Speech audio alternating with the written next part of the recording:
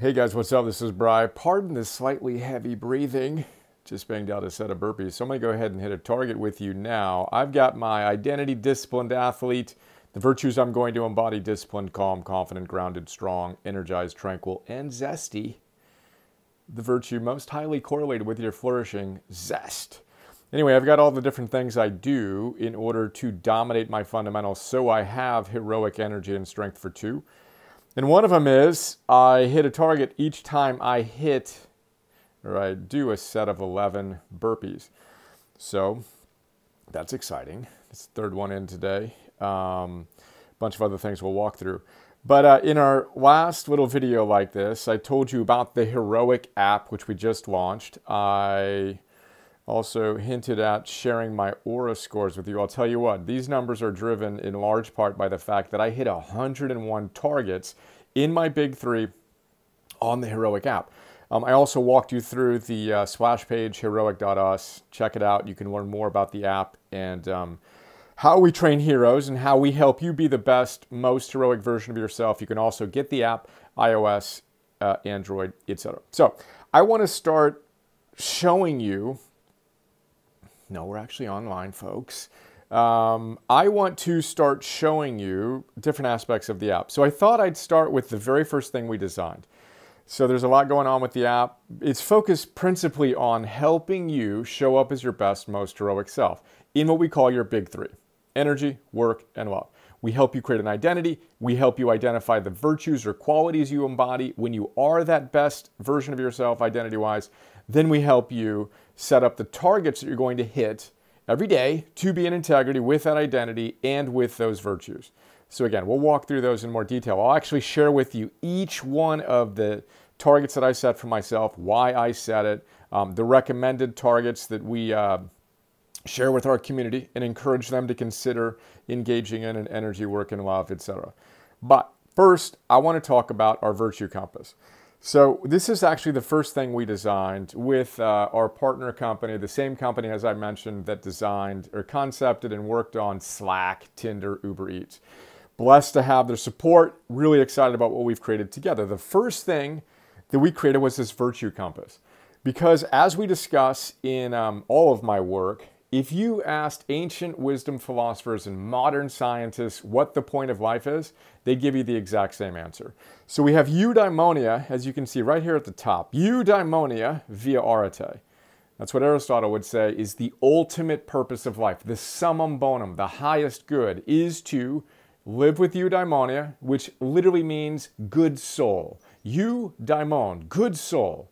You want to show up as that best version of yourself. How do you do that? By living with arete. You express the best version of yourself, not someday, not even today, but right now, this moment. Moment to moment to moment. Close the gap between who you're capable of being and who you're actually being. Eudaimonia via arete. You ask uh, positive psychologists, they'll give you the exact same answer because they base their movement on ancient wisdom. They tell us you want to flourish by putting your virtues in action. So, ancient wisdom, modern science agree, the ultimate game is to put your virtues in action. Therefore, in our app, at the very top, you can access this virtue compass and identify what virtue do you need a little bit more of in your life right now? Is it wisdom? Is it self mastery? Is it courage? Or is it love? Those are my adaptations on the four cardinal virtues of every single ancient wisdom tradition. The Stoics talked about wisdom, they talked about temperance, which is kind of a weird, weak word for self mastery. Um, they talk about courage, of course, and then they talk about justice. Uh, it's kind of one of the, the weak ways they describe the virtue of love. So, wisdom, self mastery, courage, and love are the four cardinal virtues of heroic. They are the four cardinal points of our virtue compass. And you can in the moment you want more wisdom or self mastery or courage, you can go and, and look at quotes that will inspire you. All right? Um, how about some Epictetus wisdom? My favorite teacher, one of the heroes I aspire um, to embody the qualities in him that I admire, his intensity. Uh, the way that he challenged his students, I just love. He says, We cannot choose our external circumstances, but we can always choose how we respond to them. Viktor Frankl was basically a practicing Stoic. He said the same thing. He said, in between a stimulus and a response, There's a gap. In that gap exists your freedom. We got Forrest Gump giving us some humor. Uh, what does he say? If you don't know where you're going, you'll probably not wind up there. Anyway, we've got a collection. I think it's currently a thousand plus quotes. We're going to build that up into thousands and thousands. Then we're going to integrate each of the quotes into, uh, connect them to the philosopher's notes from which they uh, were pulled. Self mastery, we got some Mark Twain. Always do right. This will gratify some and astonish the rest. Again, I can go through a thousand quotes and make this a, a very long video, but I'm going to keep it short for today. These are shorter. These are the cardinal virtues wisdom, self mastery, courage, and love. If you can get quotes. We'll talk about tools um, soon as well, but each of the virtues has tools, step by step tools that you can use to put your wisdom, that wisdom, um, into action again, not someday, not even today, but right now. I'll talk about hope, gratitude, curiosity, and zest in another video. Those are the, look at that, we got a uh, thousand second timer going off. Let me go here. We'll hit that target. I'm gonna go do another set of burpees, folks.